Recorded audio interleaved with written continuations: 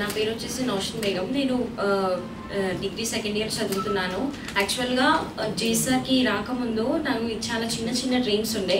But after that అంటే జేసార్కి వచ్చిన తర్వాత నా డ్రీమ్స్ చాలా పెద్దగా అయ్యాయి అన్నమాట बिकॉज यहाँ पे फीडबैक होंगे मोटिवेशन होंगे ट्रेनिंग सेक्शंस होंगे ईच एंड एवरीथिंग को सपोर्ट करते हैं यहाँ पे और हम मेरी सक्सेस की जर्नी कब की स्टार्ट हो गई? अगर आपको भी आपकी सक, आपके सक्सेस को आपके ड्रीम्स को फुलफिल करना है बोले तो it's an wonderful and beautiful opportunity platform giving the opportunity for fulfil your dreams